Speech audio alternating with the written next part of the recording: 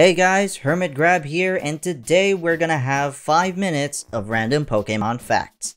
I hope you enjoyed the video, and let's begin. Extreme Speed is a move in Pokemon that is usually reserved for the fastest in all of Pokemon, but the slowest Pokemon to learn Extreme Speed is Dratini. Dratini has a speed stat of 50. Just 50. However, it can learn Extreme Speed by breeding with a Dragonite who can learn Extreme Speed due to the move tutor, but only in Generation 8. The slowest Pokemon that can learn Extreme Speed naturally is a tie between Dragonite and Togekiss, both of which share a speed stat of 80.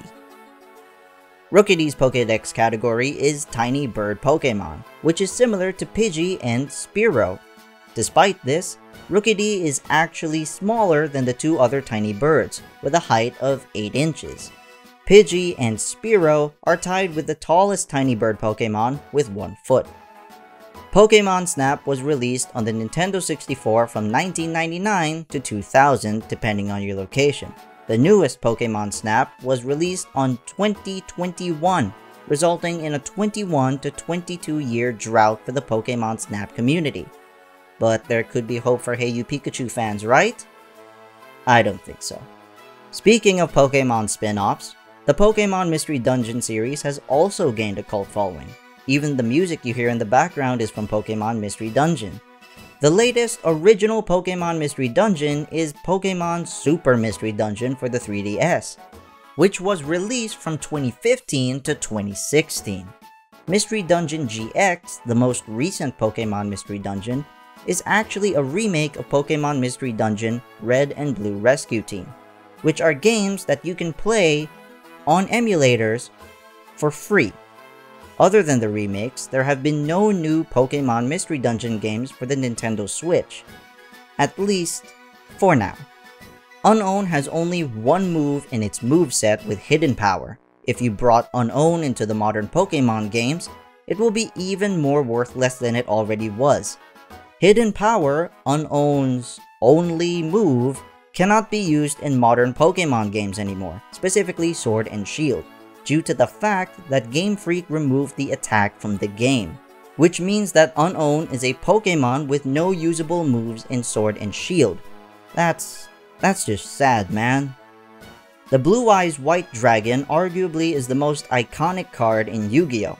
But the closest Pokemon to being a Blue Eyes White Dragon is Reshiram. It is white, has blue eyes, and is a dragon type.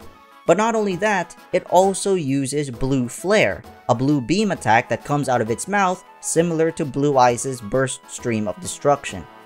It can also fuse with other dragons similar to the Blue Eyes White Dragon. If you search up Pokemon types in Google, there is a chance for you to get some odd results. Sometimes it's a Salamence, and in my case, I got an Onix. Yup, Onix is an Onix type Pokemon. The Poke in Pokemon doesn't just mean pocket. Poke also means to slice or cut into pieces in Hawaii. It is also a native dish in Hawaii served with diced raw fish either as an appetizer or as a main course. It also has varying adaptations with yellowfin tuna or shellfish, He'e poke is a type of poke that serves octopus, but in places where the Hawaiian language isn't spoken, it uses its Japanese name, tako poke in those areas. Speaking of food, Pokemon Sword and Shield introduced us to the cooking minigame and the curry Dex. But there is one particular kind of curry that caught my attention. This curry with a Kingler's body cooked on it. The text appears to be Kingler Whole Seafood Curry, it isn't shown in Bulbapedia's list, nor is it shown in the worldwide versions of the game, so I'm assuming that this is only available in the Japanese versions of Sword and Shield. But the most disturbing thing isn't the curry itself, it's the fact that your Krabbys or Kinglers can eat this curry, which is kinda messed up for a Pokemon game. We have weird Pokedex entries, the anime showing Pokemon as food, and the manga has zombie Pokemon. But now we have official in-game Pokemon cannibalism. And finally, this is a perfect form of Metagross. This is real.